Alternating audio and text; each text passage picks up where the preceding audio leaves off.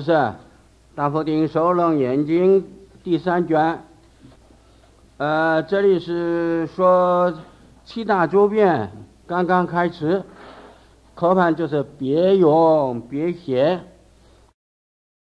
每一大个别的用会以啊如来藏性啊呃分别显示当体就是藏性的这个道理。主要啊是把前面四科啊五蕴六入十二处十八界，前面是因缘和合，希望有生，这里是说明因缘别离，呃，希望泯灭，就是四科里面，他们这个地水火风的四大，呃，它分散的时候归到它的原位。而这个每一大当体呀，它本本身是没有实体的，是实体就是如来藏性，而它的现象有种种的这个道理，所以后边一大一大加以说明。第一大的开头，你观地性，粗为大地，细为微尘。至灵虚尘，啊，呃，佛对阿难说：“你认为一切都是四大活活，呃，种种变化由此成就的吗？啊，那么你现在观察这个地，啊，地大的的这个体性，啊，粗的就是大的，整个大地就是。”粗为大地，小的就是细，细小的就是最小的就是围城。围城中间在印度外道，他们还有很多的分析的名相，把它略掉，乃至最小的就是灵虚城。呃，这个灵虚城怎么成立呢？为什么会有这个灵虚城？那么下面有。呃，十二个字就是说明这个原因，就是是比即为色边之下气氛所成。说这个灵虚尘呢，已经小到自己的小了，跟虚空相邻了啊。那么会成为这个灵虚尘呢，是因为细细的分析。分析比前面的极为成，极为成就是色边际相，色法的最细的边际。现在分析到这里，他是把这个极为成的最小的围城啊，分为七分，分为七分所成立的这个最小的围城就是叫做灵虚城。所以这个。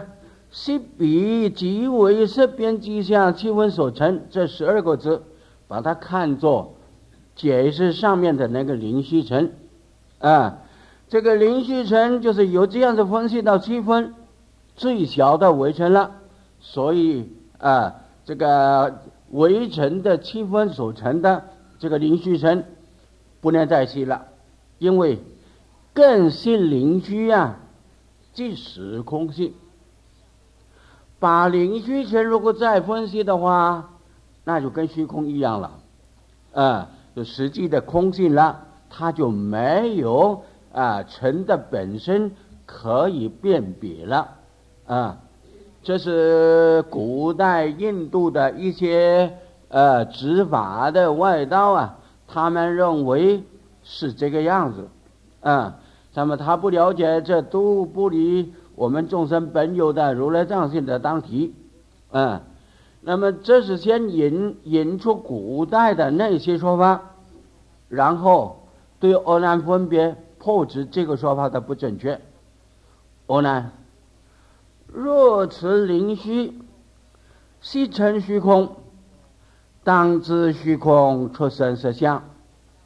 如果按照上面所引的说法，你应当知道。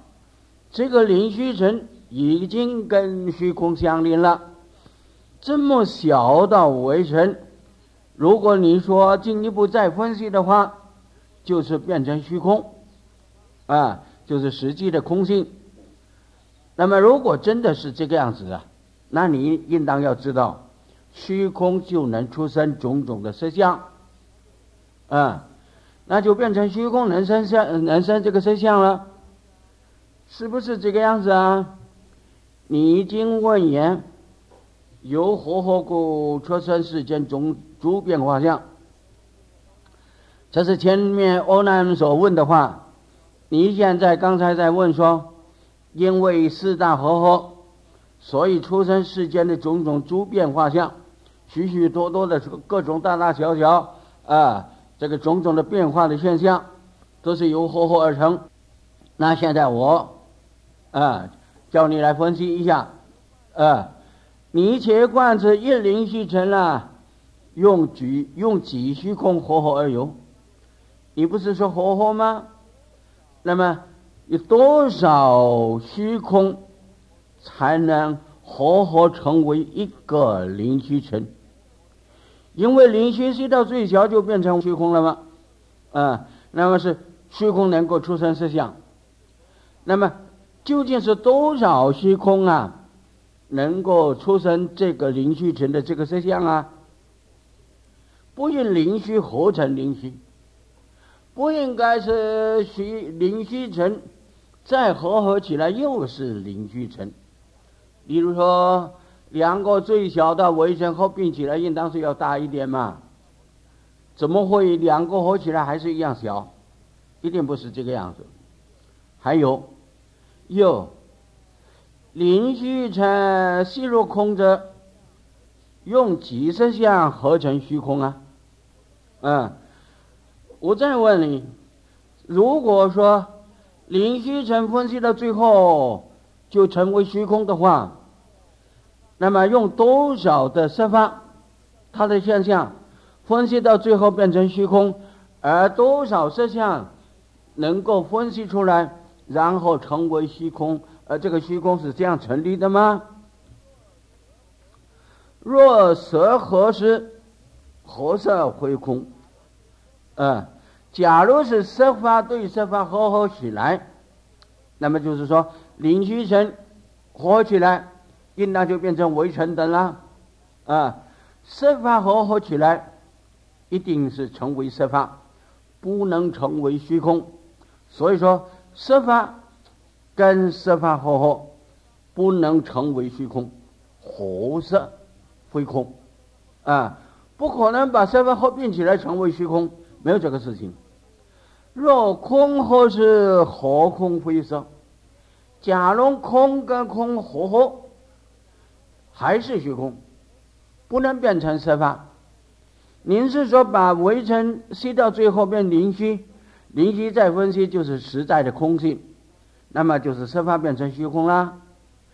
那么这个呃色法要慢慢建立起来，那不是从？虚空再把它合合起来成色法吗？啊，那么应当不可能。为什么？空跟空合合起来的时候还是虚空，不能成为色法，所以叫做合空非色。呃，两个虚空合并起来还是虚空，三个、五个、千万个虚空合并起来还是虚空，不能成为色法。你应当要知道，色有可惜啊，空云可合，色法可以分析，没有错，分析吧，慢慢分析，分析到最后，你认为是已经灵虚了，啊，事实还是可以分析，可是空怎么能够活活啊？已经分成变成虚空了，那么怎么能够用虚空活活起来，又成为色法？哪有这个事情呢？啊，那是因为你不知道啊，这个诸法当体呀，就是藏性的道理，这个你不明白，所以才会有这种的啊错误的见解。所以接下去就说，就是前面都是破他的妄知，把妄知破除之后，显出诸法的理性啊。所以经文说。你原不知如来藏中性色真空，性空真色，清净本然，周遍法界，随众生心应所资量，顺业发现。这是说，一般外道他不不懂这个道理，啊，你现在这里指欧呢？外道凡夫他们不懂这个道理，我们不怪他，他们本来就是不懂的。难道你欧南也不懂吗？你原来还是不懂，所以说你原不知，你原来还是不懂，不懂这个诸法当体就是如来藏性，如来藏中本来就具备这个性色真空、性空真色的这个法界。如来藏就是众生本具的法性，啊，所谓本性，啊，众生本有如来，被烦恼遮蔽了，遮蔽了，显现不出来，所以叫做啊如来藏，被隐藏起来了，嗯，如来藏中下面的那个中字啊，呃，根据正脉的焦光大师他的分析很有道理，他说这里所说的中。啊，如来藏中的中，跟前面四颗的中就不一样了。怎么样不一样啊？他举个例子，比较容易明白。他说前面四颗说当体就是藏性，它不是因缘，也不是自然。这个好像富有的人家，活亚郎。富有的人家，他的仓库里面呢，珍珠、八宝什么样的东西都有，那个宝物多的不得了，满满的仓库里面都是宝物。那么，他所有的每一个房屋、每一个地方，都从这个呃仓呃仓库里面的宝物啊，拿出一些来，这一间摆了一些宝物，那一间摆了一些宝物。这一间那一间就是比那个四空，啊，呃，我们如来藏中本有的藏性具备诸法，啊，样样周遍，这个道理一下子说你不了解，前面四颗讲的，就像指出，你看我们每一个房屋里面呢都有宝物，哎，这个宝物就是我们如来藏中本有的宝物，所以前面四颗。五蕴六入十二处十八界，通通只归藏性，哎，他就是当地就是藏性。那个时候说的藏性本具的诸法，啊，那只是在呃一间一间的房屋里面摆设的，啊，很少的宝物而已呀。但是前面四颗，现在这里讲七大，是指归藏性当体了。现在这里讲的如来藏中的中，不是前面房屋之中，而且是仓库之中，听懂吗？是在仓库之中，前面的中是指每个房屋里面有这个宝物，分量少。现在这里所说的中，是指原来的仓库，原来的仓库里面有很多很多的宝物。那是无穷无尽的，说不完的，啊！现在说的中是那个中了，不是呃前面四颗的中，所以只是呃你远不知如来藏中的那个中，就已经跟前面的中不一样。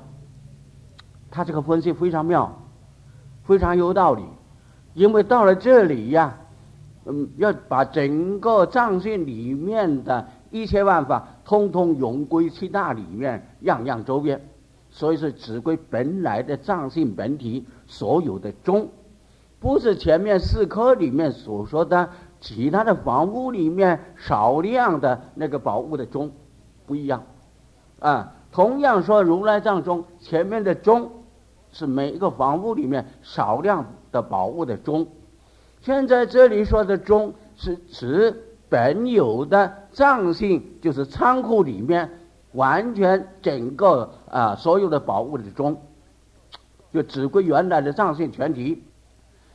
如来藏中性色真空，啊，本来是地啊，按照地大的文字，应当叫做信地真空，性空真地才对。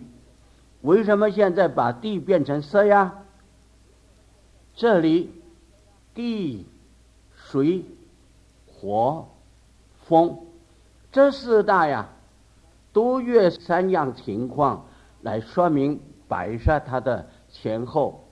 第一，颜色，颜色，四大它有没有颜色啊？例如青黄赤白的颜色啊。第二啊，说明它的形质啊，它的形质就是它的形象。形质里面呢，啊，每一样东西它的形象、它的体质、形象、体质啊，有颜色、有形质啊。第三有变爱啊，有坚坚固的这个啊阻碍的作用啊。也可以叫做坚爱，很坚固，能阻碍，啊，那么就是说，第一原则，第二形质，第三坚爱，这三样完全具备的只有地大，而地大其他的经论里面不说地，往往说色，以色来包含，因为色里面呢。它具备的就属于地大方面的东西就有十之七八，所以用色来包含整个地大，包含带进，而且还包含其他的诸法。所以这里说性色，就是说它具备这三样的功能。它有颜色，地有地的颜色啊。而且地面上所有的一切万物，青黄赤白，什么样的颜色都有，啊，地大的这个色颜色最具备，样样具备，这是第一。第二，它有形质，啊，地形，它的体质，它的地形，它的体质，所有的这个地大里面，每一样都有它的形质，这是第二，它样样重编。第三，它很坚固，能阻碍，啊，你看这个大地，它很坚固，啊，你建了几十层的楼，它也不会下沉，啊，那么它有坚固，又能做阻碍的作用，它具备这三样的条件，所以地用色来包含，啊，而且这个色方。在无情方面，就指外面的所有的啊宇宙万有，啊有情方面指我们人生的啊身体上的啊骨肉毛发等等有质的，通通都属于地大。所以无论有情无情，它这个地大范围之大，这个三样通通具备。所以在呃四大里面呢。地大摆在最前面，它这三样完全具备。呃，那么第二的水呀，水也有颜色，不是有水色吗？水也有颜色，水也有形质，可以装得到，水有形质。可是水的兼爱性就不如地大了。哦，水里面鱼可以游泳，人也可以进去，啊。而且这个水，它这个爱性好像有，根本不强，少量而已。所以它的坚不如地，它的爱更不如地。所以这三样当中啊，水大它只具备颜色、形质、兼爱不够啊，所以它排在第二。第三的火大吗？火大有颜色，不是叫做火红色吗？有红色叫做火红色，它的红，啊，跟火的红色一样，叫做火红色。像南传佛教西南一带的出家人穿的这个袈裟，它不是黄，不是深黄，而是火红色，啊，那么，所以火有颜色，第一样有，它没有形质，它的质就不够。火你能拿吗？能用手去拿吗？拿不起来，啊，而且它会烧人，啊，火没有坚定的形质，更没有坚爱。火三样里面，它只有一样，只有颜色，形质看起来好像油，可是它不像水拿得起来。啊，呃，他也没有坚，也没有爱，啊，所以火摆在第三，啊，第四的风大呀，风有颜色吗？各位知道风什么颜色？青黄赤白，风有没有颜色？风没有颜色，风没有颜色，它有形质吗？也没有形质，风什么样子？没有形质，啊，比火更。没有这个颜色形质，那么它有少少一点的爱，没有尖，它有爱。比如，例如说我们跟风相撞，它能够跟你相撞，可是它的力量不大，啊，它在风在这三样当中啊，没有颜色，没有形质，啊，而爱性不强，有一点点而已，所以风摆在第四。他们地水火风四大。呃，它这个排的次序啊，就是以这三样的啊道理来加以分辨。那么因此，呃，这里说性色真空的色，就是包含整个大地，整个地啊，地大的范围通通包含在里面。那么一方面呢，它还要配合其他的经论所说。普通一般经论里面。很少把地拿来当色的用途，只有讲色。例如《心经》的“色不异空，空不异色”，他一定不会说“地不异空，空不异地”。啊，“色不异空，空不异色”，色即是空，空即是色。般若部里面，地都包含在色色法里面，所以这里要显它的理样，就是约色法来显。不用地的当体，以色法来显，色包含整个地，无论大小，通通包含在里面。所以以色法来代表地大，因此这里显现的文字叫做性色真空，性空真色。这两句话，呃，它是显这个道理，显理啊，性指它的。理的方面来说，性指理，就是设法的理的当体啊，它不是指相，性是指理，不是事相。真显示它不是属地，是真啊，真属二地啊，它是真，不是属。那么不是属，也就是它显这个体，而不是说它的用，用是属于。这个属地，啊，这里所说的性色真空，啊，这是说明本性里面具备一切色法的妙用，啊，就真体之空，真体当体就是空，啊，性色本性里面具备具备这些大地的色法的妙用，啊，而它当体就是真空，地没有实体呀。我们看到的是形象而已，地没有实体，它的实体就是真如自性，啊，就是真空，性空真色，这是性当体具备空的道理在里面，所以色就变成真，啊，说性的当体就是真空，空的当体显示这个色法就是真空的色，啊，所以叫做性色真空。性空真色，性色真色，通通永归这个本性，所以叫做别永别显。真空性空是说明这个法性的离体本来就是如此。啊，如果要细细的分别啊，应当我要说成性色真空，真空性色。性空真色，真色性空。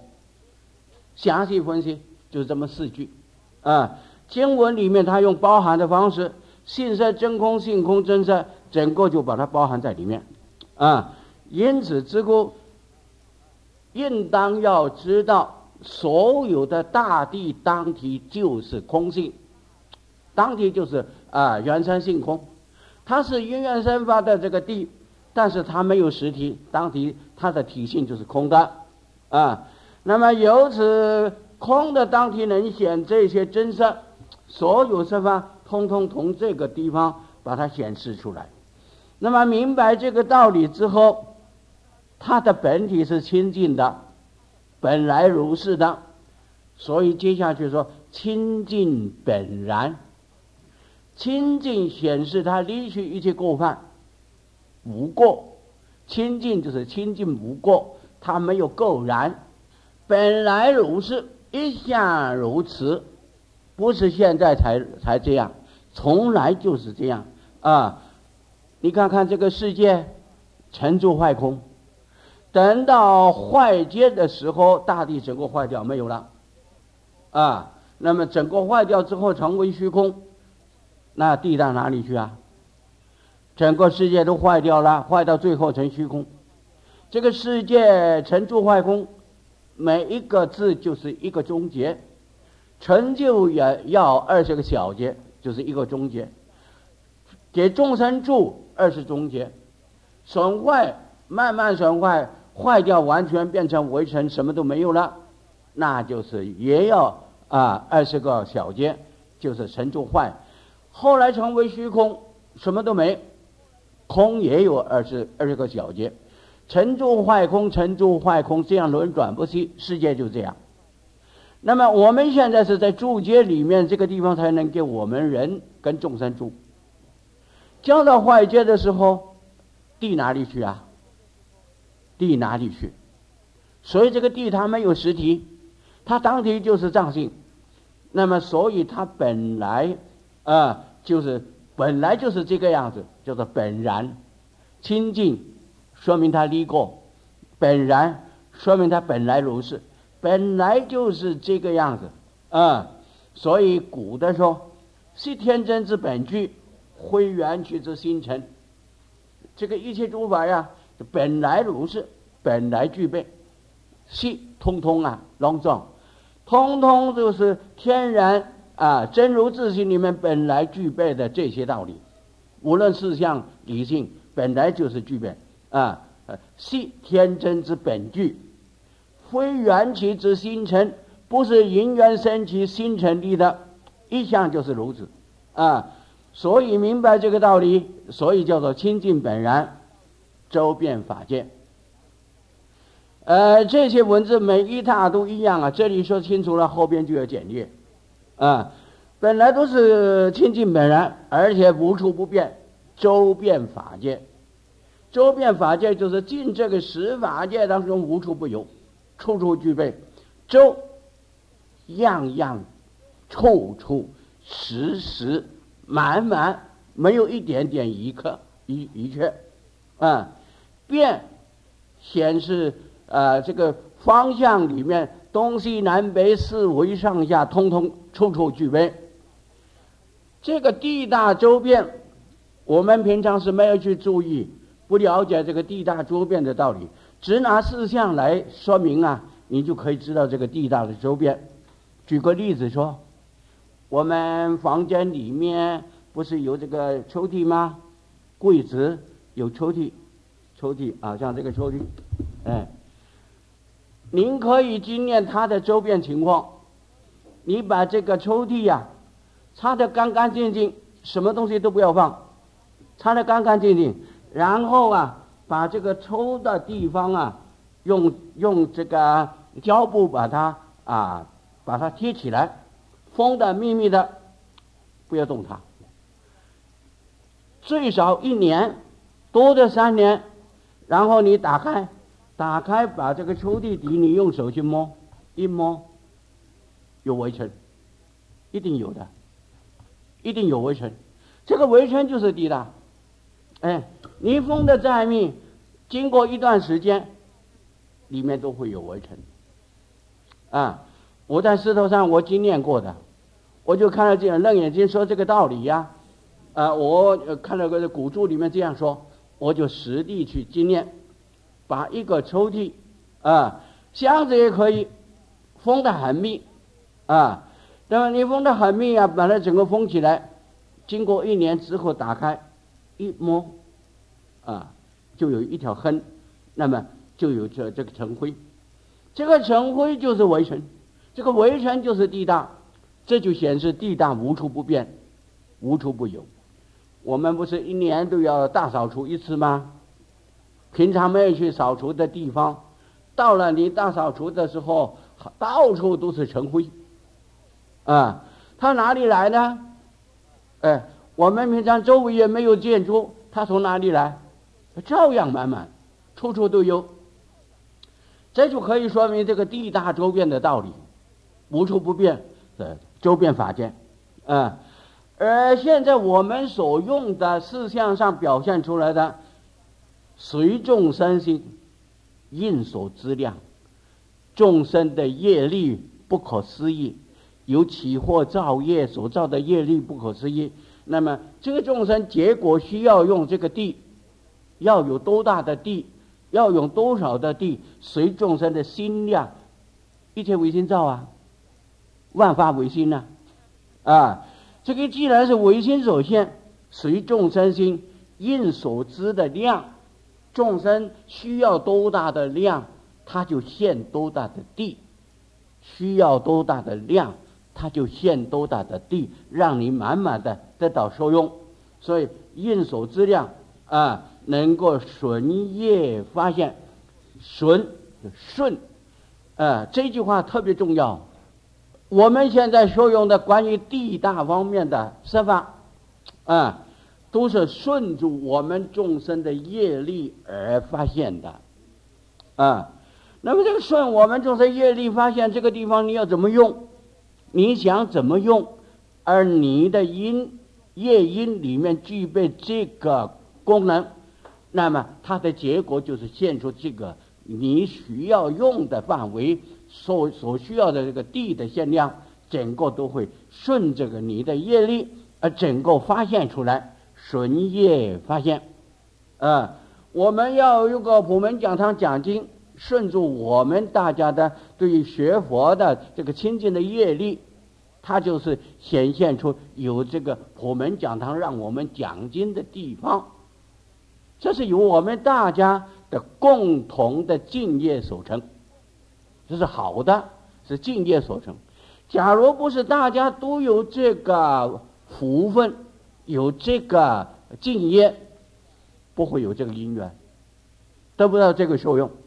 所以这是都是顺众生的业力而发现。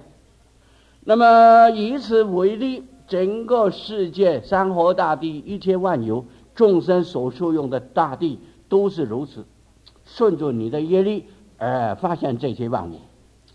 那么这是显理，后边世间无知以下是执迷，执众生在迷呀，不懂这个道理，所以认为是因缘咯，自然，啊，所以经文说世间无知啊，或为因缘，即自然性，皆是实心分辨既多，但有言说都无实义。这几句话后边六大同同样，啊。这里明白了，后边可以简略。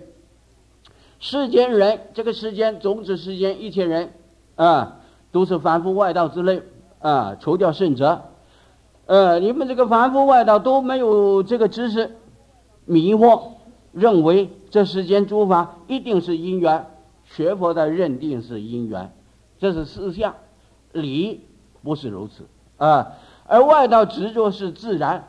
哦，一切是自然的，本来就是如此，自然嘛啊！他们执着自然，这迷惑了，就认为是因缘，或者认为是自然，以为它的性质就是这样的。皆是世心分别极多，说明众生的错误，都是你的第六意识的分别心，通通都是我们人一切众生第六意识的分别心去计量、实际、度量啊。分别认为这是因缘，这是自然，生起这种的执着。实际上，这都是有言说，没有实义，啊，但有言说都无实义呀，单单有这个言辞的说明而已呀，啊，你认为是因缘，因缘的话很多；你认为是自然，自然的话也很多，说的很多，不切实际，不懂得真正的道理在哪里，所以都无实义。没有真真实实的意义。我们所知道的，世间人所知道的，呃，都是一些不正确的了解，啊，好像他懂得很多，实际上他并没有正确的了解。呃，第一个问题，他不知道诸法的体性啊是什么样子，众生本有的真心他不明白，所以才会有这些错误的见解。那么这是地大，啊。那么地大这些后边的文字相同的，我们以后视情况而定，有的时候会简单，因为它的内容相同，有机会也不妨再多讲几次啊。那么地大说完，呃，现在讲第二火大，呃，大家不要忘记那个大字就是周边，七大的每一个大字啊，就是显示它当地周边，地大周边，现在火大。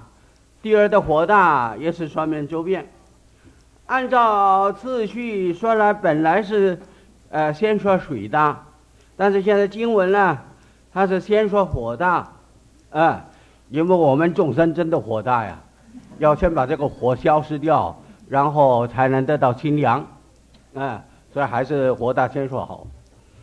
呃，火大，看看经文，欧呢？火性无我，既于周原。你观城中未食之家，欲揣喘时，手之阳岁，日前求活。佛对我来说，你看那个活，活的实性啊，它。没有我，火会像我们，哎，这是我，那是你，那是他，他有这个观念吗？没有。现在那个日光灯，你问你有我吗？他无我，火是无我的，啊，我这主宰业，他自己不能做主啊。因为火如果没有人去开，它不会有火。虽然星星之火可以燎原，这个星星之火也是人拿来的。假如人不把星星之火拿出来弄出来，它不会燎原。所以火它本身是没有我，那没有我为什么有火呢？寄于诸缘，寄托在生活的各种助缘。呃，从前人没有火柴，没有现在的打打火石的这个打火机。从前是用钻木求火，啊，很辛苦哎，钻木求火。正在钻的时候不能停，钻到它发热了，慢慢等到它有烟了，必定要钻出它有火来，发火了，你才能够停下来。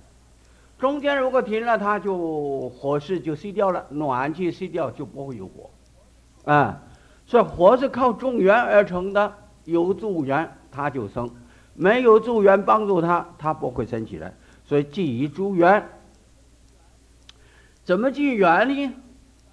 当时佛就举当时的例子说：“你观城中未食之家，你看看吧，你指我难了。”你看看现在社会城中，啊，也许他正在讲经的时候啊，是人要做饭的时间，啊，他还没有吃饭的这个家庭，他准备要烧饭，欲吹船是吹是煮了，传呢，按照这个字典说，第一个意义就是灶，锅灶，烧火的锅灶，船，嗯。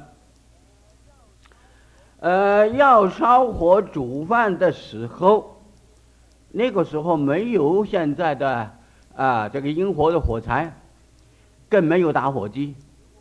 他们怎么样子取火呢？如果碰到像今天这么好的天气，太阳那么大，他会用阳穗去取火，守着阳穗，日前求火，把阳穗拿在这个空地啊，照着太阳取火。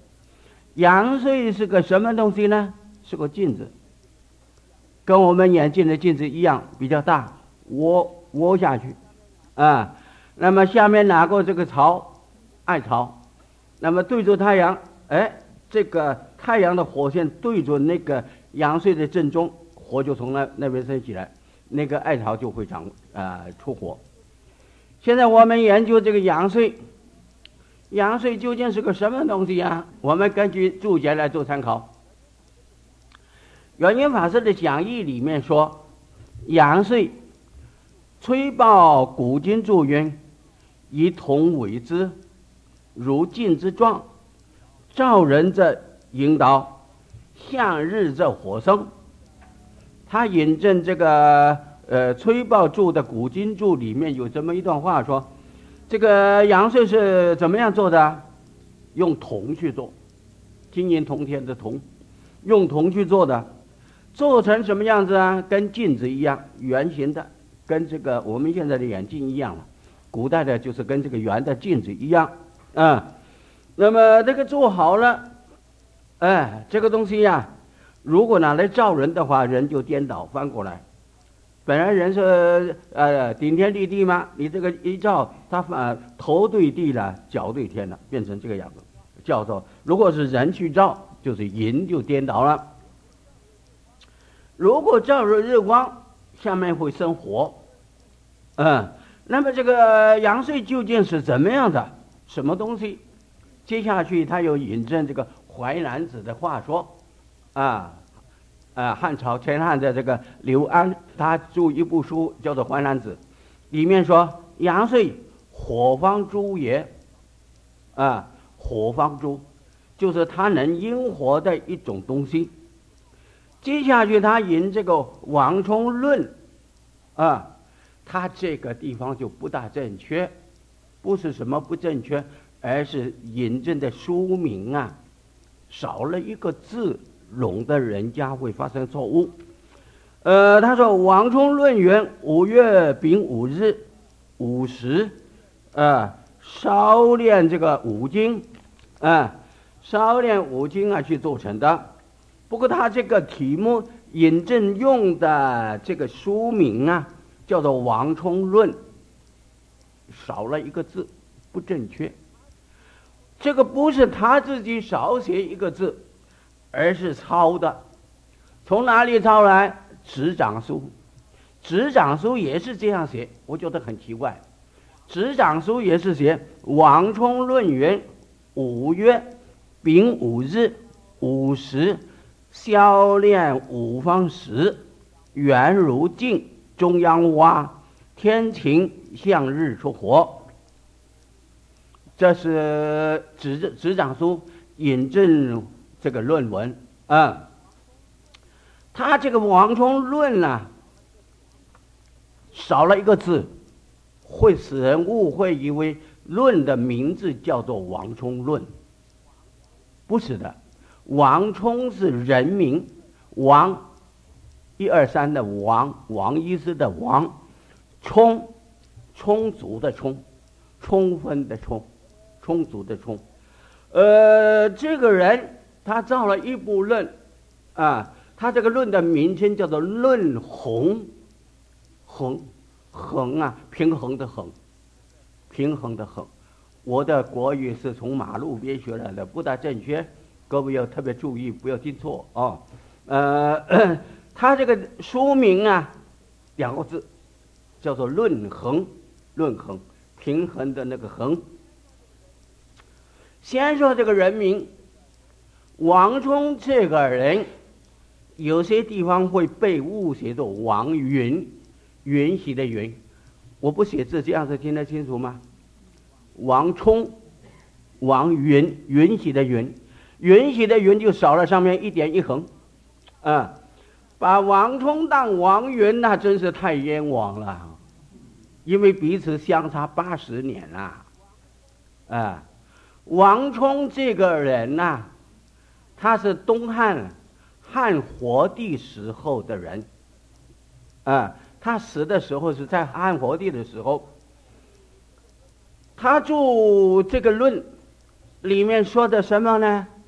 里面有三十篇，说这个万物的这个名相，啊，指出它的正确正确的名称，啊，它文字多。一共有三十卷，啊，那么他在东汉的时候就这一部论，里面文字非常好。后人研究这个一切所有的事物的名相啊，都是根据这一部书，啊，王充是在东汉啊汉活帝的时候，那么东汉就是汉光武中兴之后，就是汉明帝了。汉明帝下来就是汉章帝，文章的章；汉章帝下来就是汉活帝。那么可以说，他是在东汉的开头那一段时间，啊，汉光武以后，汉光武统一之后，啊，汉明帝、汉章帝到汉活帝，啊，王充这个人是在汉活帝的时候死了，啊，年岁大概是七十多岁。根据他的，呃，这个东汉的这个所谓《后汉书》啊，《后汉书》里面所记载的，说这个他是死的时候是七十多岁，究竟七十几呀？他没有写，不得而知。我查出这个《后汉书》里面，他说王充，他充是他的名字，他另外有字号叫做充任，啊。他学问很好，啊，学问很远博，那么因此他在一生一方面本来是很穷苦的人呢，很努力读书，后来有很大的成就，啊，也做过大官。那么他著这个《论衡》这一部书，等到他铸成了，已经是到汉活帝的时候。汉活帝他的年号叫做永元，永久的永，一元两元的元。啊，呃，永元这个期间，西纪是八十九年到一零四年，那么也就是说，汉活帝做皇帝呀，从西纪的八十九年到一零四年，距离现在一千九百年前了。他在这个时候，呃，把这部书注好了，他体力体力也衰衰了，不久就死了。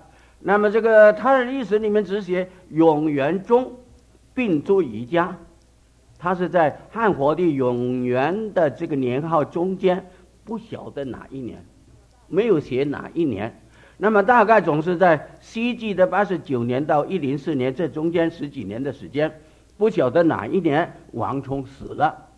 他是一个学问家、文学家，文字很好，所以他就这一部论一直流传到今天。研究古书的人呢，呃，尤其对这个呃一切事物的分析，呃，他这个论衡，富有很大的帮助，啊，他的书名叫做《论衡》，应当啊要写作《王充论衡》，多一个横字就不会搞错，应当写作《王王充论衡云》，多一个字就清楚了。因为你单写《王充论》，就是有人问我啊，《王充论》是什么论？哎，他就问我《王充论》是什么论？大家看了讲义，这个《王充论》他不知道什么书，问我，我说那是王充造的论，不是王充论，而是王充这个人造的论，啊，所以这个少了这么一个字啊，就发生这个笑话。他认为这个论的名字叫做《王充论》，啊，不知道是王充造的论。题目就叫做《论衡》啊，误写作王允呐，那更好笑，那就很很好笑了，而且是对王充是一个侮辱侮辱啊，是很不好。为什么呢？王允各位知道吗？汉献帝的时候，啊，他用貂蝉啊，使这个吕布去杀董卓的这个人，当时在汉献帝的时候，他的地位啊，大官地位很高，他地位是当时是司徒，啊，呃，他这个是呃，当司徒看到这个董卓这么专横，嗯，董卓当时打算要篡位，他的方法很粗，很粗，很容易让人看出来，不像司马昭。司马昭很细，但是也也会被人看出。可是这个董卓的动作很粗，人看出来。那么这个属于汉朝天下的那些忠臣，就怕被他弄翻了，赶快要想办法消灭这个董卓。你用其他的方法没有用，啊，他的力量比你大，只有一个方法，用什么？用貂蝉，啊，用这个美人呢？啊，貂蝉去拢他，因为礼部是董卓的义子啊，啊，礼部叫董卓是干巴的，他以为这个礼部能够使他成立他的呃做皇帝的机缘，啊，没有想到这个王允这个人呢，他想出一个办法来，用一个美女啊，用这个貂蝉去笼这个董卓，啊，也先。给礼部，然后董卓来了，又给董卓，让他父子两个抢一个，闹出这个笑话。那么最后啊，董卓就死在礼部手下，啊，所以礼部这个人呢，拜义父杀义父，拜一个义父杀一个义父。他本来第一个义父是丁丁原，丁原就是被他杀了，去投董卓，现在又杀董卓 啊。董卓要死的时候，这个人也不简单了。董卓临死的时候啊，要死前几天，地方上的小孩子有一个歌谣，嗯，嗯，他说：“千里千里草，何青青，十日上不得生；千里草，何强强，十日上不得生。”千里草就是种子，你写写看，千里草。上面不是二十不是草吗？千里草，何青青。现在正在有有我有的的时候，何青青，啊，十日上不得生，十日上就是桌子，桌子，十日，下面有个十吗？中间有个日吗？上面有个上，啊，十日上董卓就做，啊，十日上不得生，快死了，不得生，啊，他第二天礼部说我要请你去大的登位了，做皇帝了，哎。那天晚上，他就做梦，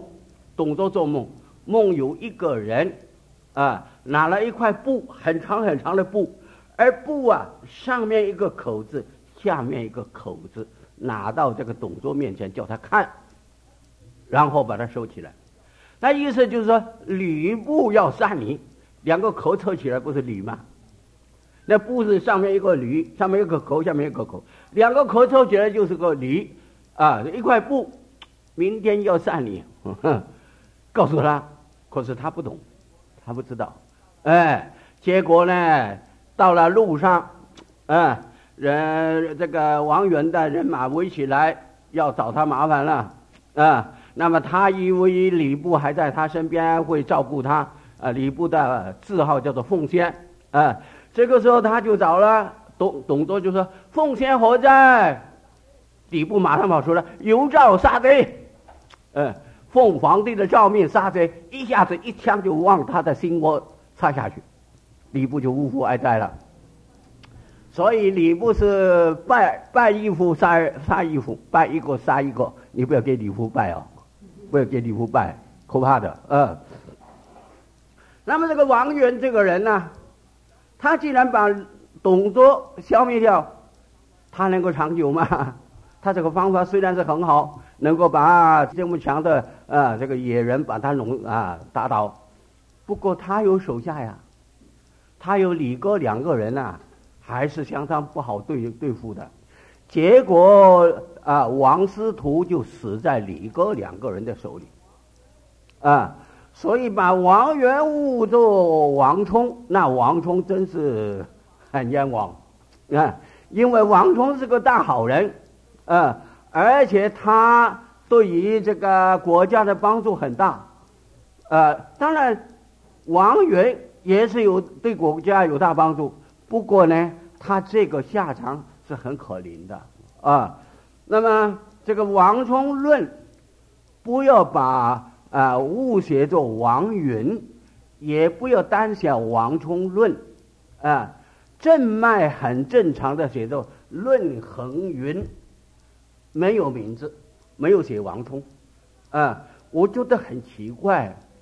呃，讲义处处根据正脉，嗯，单单这个王充论他照这执掌，而不写正脉，不用正脉，用正脉的论衡，不会发生笑话，我不会被人问我说王春论是什么论，啊，所以呃，写书啊，要很啊，要有很周到、很细密的观察。要多方面的注意，连一个字读得小心，不能随便，不是那么容易的。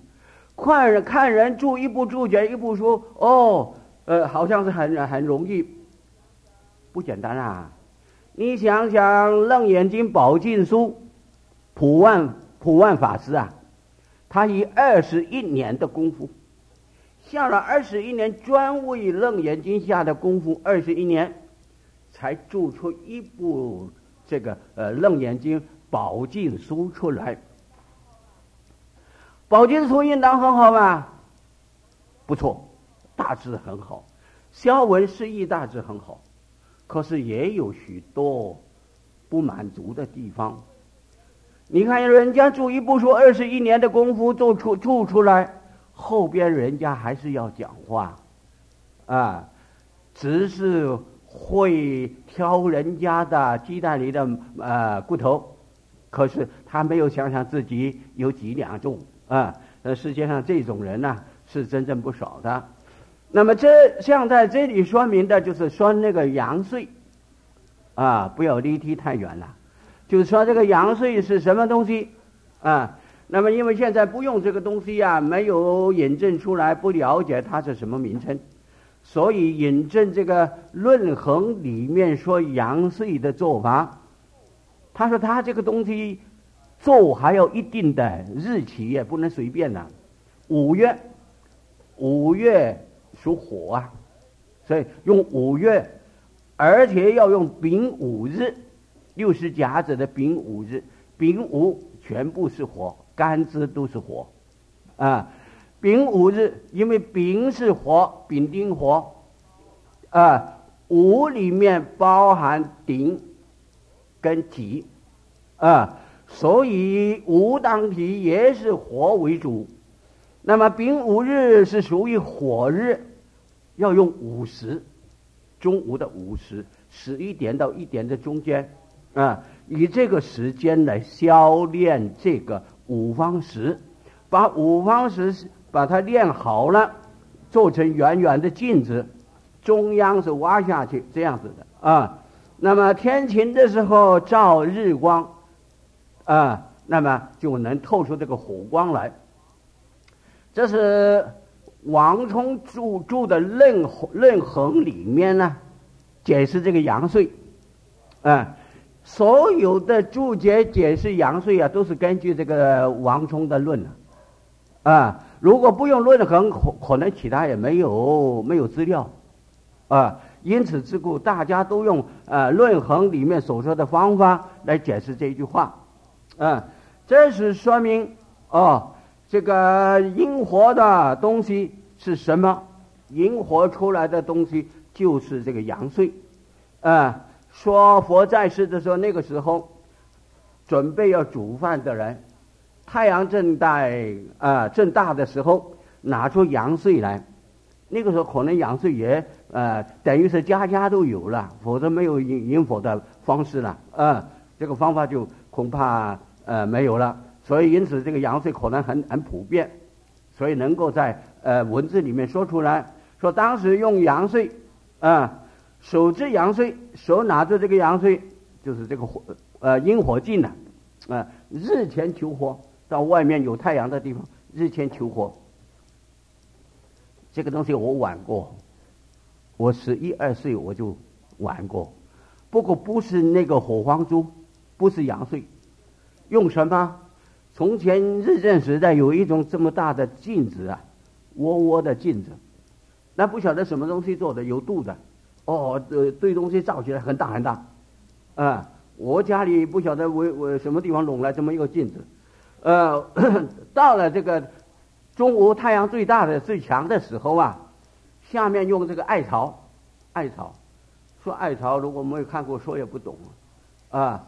这个艾草晒干的艾草啊，就是对着太阳，拿着这个呃呃镜子对着太阳，哎，很快它就冒烟了，一下子就出火了啊！我在小还是小孩子，十一二岁，我在自己的老家就曾玩过这种方法，经常用这种方式引火，很快啊。所以可见，佛在世的时候就用这种方式在引火来用，很普遍。这是说明这个火的来源，啊，所以寄于诸缘呢，寄托在种种的诸缘呢，引出火来。所以由这个阳岁引火的方式可以看出哦，一方面要有阳岁的这个火方珠，一方面要有太阳啊。下雨天气就没有办法了。所以，一般家庭都要准备火种，啊，如果知道什么时候会会下雨哦，那今天太阳好，你赶快把火引引起来，啊，引起来之后就要想办法不要让它灭掉，啊，我在啊七八岁的时候，那个时候我在石头山，我的家就在石头山的半山，啊，附近有这个煤矿，煤矿的这个煤呀，好用。啊，如果你用大块煤在外边，不能在屋子里面，那个烟还有毒的，对身体不好。那么在外边找一个不会淋雨的地方，弄几块大大块的煤炭，把它烧，啊，烧成了有火了，煤炭呐，你这一块煤炭可以保持一天，可以可以保持一天不会不会消掉啊。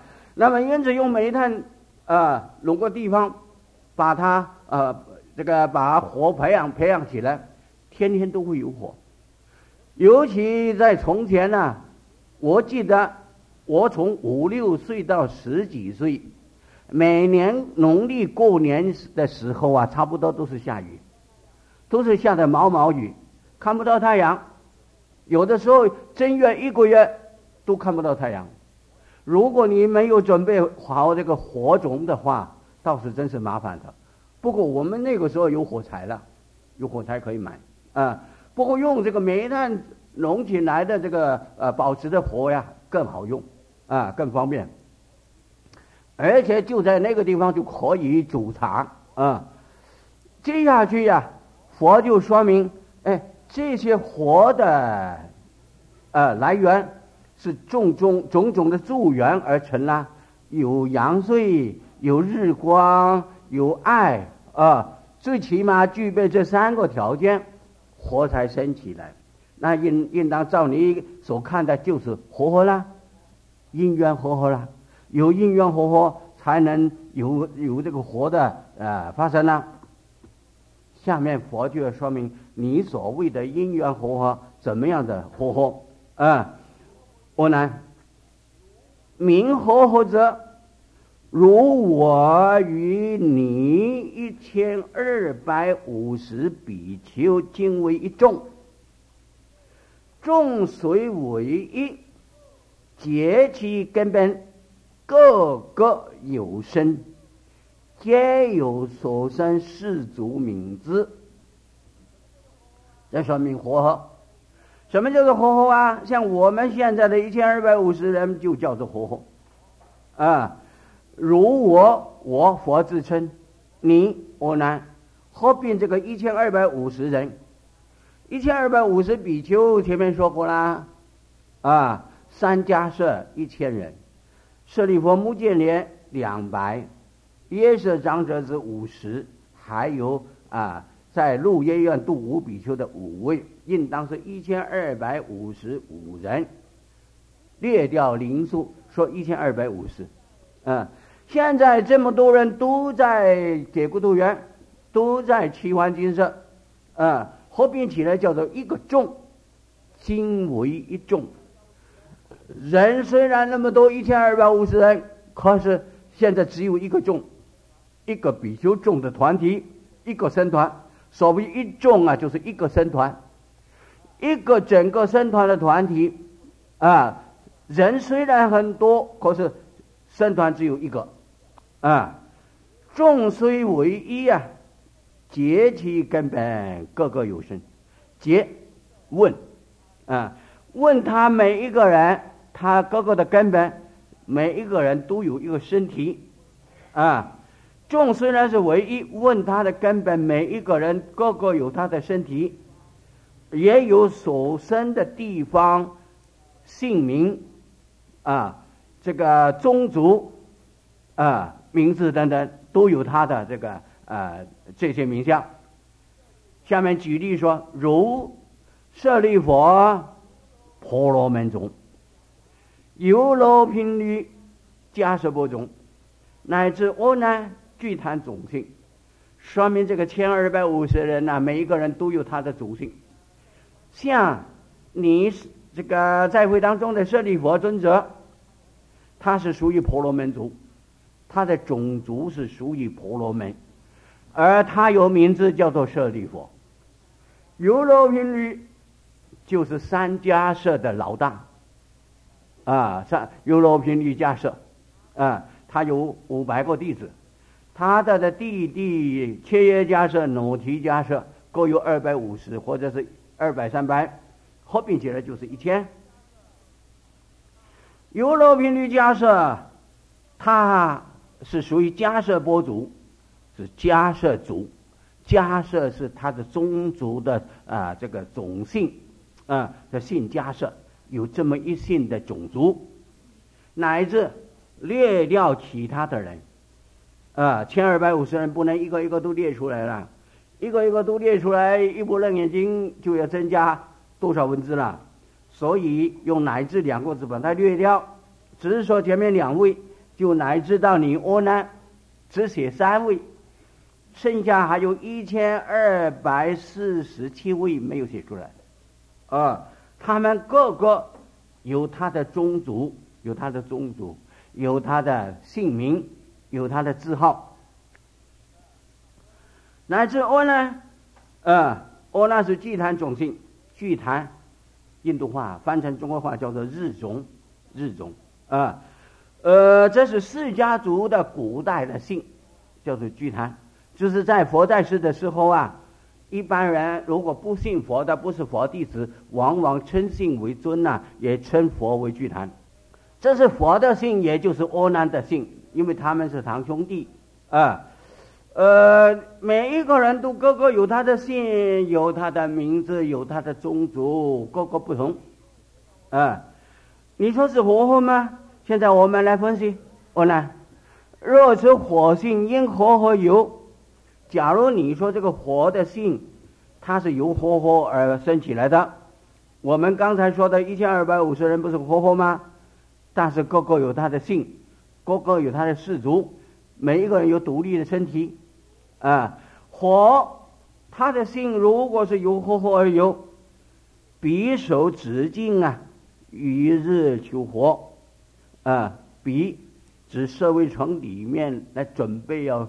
煮饭的引火的人，他的手手拿住这个镜子，这个镜子就是阳岁，引火的火方珠，嗯，向日日光，日就是天上的太阳，向着日光太阳来求火，引发这个火，啊，此火引出来的火，为从镜中而出，唯从爱出。唯一日来，我们研究这个火的来源，在这三方面是在哪一方面？啊，这个引出来的火啊，它是从镜里面出来的，火方柱里面出来的吗？啊，还是从艾草里面出来的？因为烧着的是艾草，还是从艾草里面出来的？这个艾呀，呃，按照那个。字典里面它也有画出图样来，啊，不过那个图样我看起来跟我看到的不一样，啊，我住的地方狮头山山下要去南庄乡，啊，那么南庄有有学校到南庄读书啊，走路，从这个啊田梅这个地方就呃龙门口过去，走这个近路啊，就走这个呃河底，就是溪的下面有一条路啊。这个溪的那个没有水的地方啊，空地啊，旱地啊，很多艾草，很多艾草，艾草高的跟人一样高，艾草的叶都是小小的，啊，跟那个扁扁壁叶哈扁波叶也差不多。它这个艾草，啊，我平常是在读书要回图的时候走，走在这个路边发现的比较老的艾草啊，就把它拔起来带回去。晒干了就用玩这个火黄珠引火的这个作用，啊，也可以当做起火的工具，啊，这个叫做艾草，呃，艾也有呃有人姓艾呀，慈航菩萨就是姓艾呀，他的他的姓姓艾就是这个艾，名字叫做季荣啊，艾季荣，这是他的属性俗名，嗯，呃，姓艾的人不多，我们这里不晓得有没有啊。呃，这个艾草现在不是姓艾的艾，是艾草的艾。这个火是从艾草里面出来的吗？还是从日光里面出来的？往这三方面来研究，你说这个火火呃引出火来。现在我们从这三方面来研究，看火是从镜子里面出来的，从艾草里面出来的。从日光里面出来的，在这三方面，在哪一方面？啊，欧南，若日来者，自能烧你手中之艾，来处林木坚硬受分。假如这个火是从日光来，那不得了了。天上的日光，它有火，能来烧你手中拿的艾草。那既然他的火能够来到烧你的艾草，那不是把呃整个山林树木整个都烧掉了吗？因为他火是从天上来嘛，经过的地方不要都烧掉吗？嗯，应当不是吧？不是是这样的，不是从日光那边来。如果从那个地方来烧你的手里的艾草，同时要把山林所有树木都要烧掉，并没有烧掉，显示不是。那么，既然不是是从晋中来吗？还是呃从爱朝来？呃，这两点我们留下来讲。